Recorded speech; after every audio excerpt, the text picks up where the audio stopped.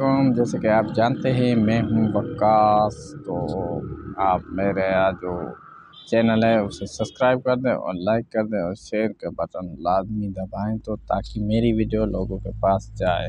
तो आज मेरा वीडियो का बनाने का मकसद ये है कि माशाल्लाह हमारे पास जो है, इलेक्शन का टाइम आने वाला है। जनरल इलेक्शन जो पाकिस्तान में होने जा रहे हैं।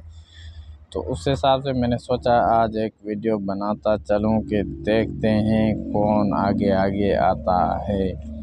तो मेरा बनाने का यही मकसद है कि वोट इस बार जो है मेरे पाकिस्तान भाई जो नौजवान है, वो आँख, कान खोल कर वोट दिया करे। ना तो किसी के कहने पे दिया करे, ना तो किसी के बोलने पे।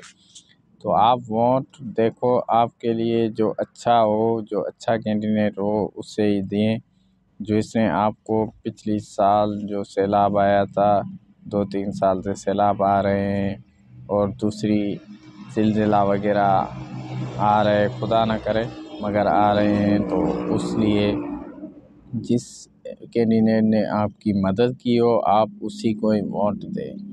आँख खोल के वोट दिया करो, क्योंकि पाकिस्तान का सवाल है कि पाँच साल वो आपके ऊपर ही रहेगा, वो बदला नहीं जाएगा। तो आप ऐसा करें कि अपने वोट उसी को दें जो आपके लिए अच्छा सोचता हो अच्छा सुनता हो अच्छा बोलता हो तो उसी लिए आप वोट उसी को दिए तो आज मैंने सोचा एक वीडियो इस पर भी बना दूँ।